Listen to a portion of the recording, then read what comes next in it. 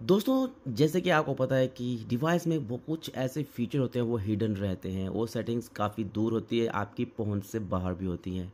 तो आज मैं आज उन्हीं सेटिंग्स के बारे में आपको यहाँ पे बताने वाला हूँ। मतलब कि आपके डिवाइस के दो ऐसे एनिमेशन इफ़ेक्ट्स हैं, जो कि आपको ढूँढने से भी नहीं मिलेंगे। अगर आपको पता होगा तो आप कमेंट बॉक्स पे कमेंट कर दीजिएगा। अगर आपको नहीं पता होगा इस वीडियो के बारे में, तब भी आपने कमेंट ज़रूर करना है, ठीक है? तो ये इफ़ेक्ट्स क्या हैं? मैं आपको यहाँ पे दिखाने वाला हूँ। क्या होता है कि कई बार आप नया डिवाइस खरीदते हैं तो ये इफ़ेक्ट्स बंद रहते हैं या फिर बाय डिफ़ॉल्ट ये ऑन रहते हैं। लेकिन अगर आपके डिवाइस में ये इफ़ेक्ट्स बंद हैं या फिर ऑन हैं वो आपको अभी पता चल जाएगा। सो नमस्कार दोस्तों, मेरा नाम है राकेश कुमार और आप देख रहे हैं आर के न्यूज़ टेक चैनल। तो चलिए आज का वीडियो शुरू करते हैं। जैसे कि मैं अपने फ़ोन को लॉक लगाता हूँ। लॉक लगा दिया। लॉक लगाने के बाद हमारे आता है फिंगरप्रिंट मतलब इन डिस्प्ले फिंगरप्रिंट इफ़ेक्ट। चलो, पहले हम इन डिस्प्ले फिंगरप्रिंट इफ़ेक्ट यहाँ पर चेक करते हैं। जैसे मैं क्लिक करूँगा तो यहाँ पर कोई इफ़ेक्ट नहीं है। फ़ोन डायरेक्ट यहाँ पर जो है अनलॉक हो गया, ठीक है? तो ये इफ़ेक्ट कैसे सेट करना है, पहले मैं आपको ये बताऊँगा। ये पहला हमारा एनिमेशन इफ़ेक्ट है। उसके लिए सेटिंग में जाना होगा।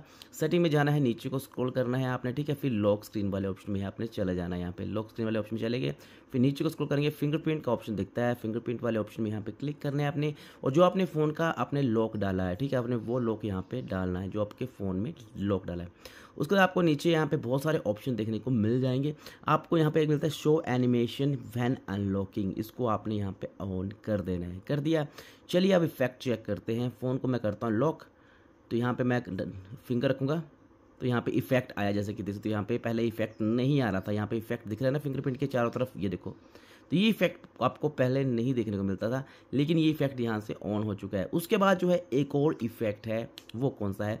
जैसे कि हम फ़ोन को लॉक लगाते हैं, हम फ़ोन को अनलॉक करते हैं तो आपका फ़ोन एकदम से अनलॉक हो जाता है। मतलब यहाँ पे जूम आउट वाला जो एनिमेशन आपको यहाँ पे शो नहीं हो रहा है। लेकिन जूम आउट वाला ये ऑप्शन जो है, आप कैसे इनेबल करेंगे? फिर से आपने सेटिंग में जाना है।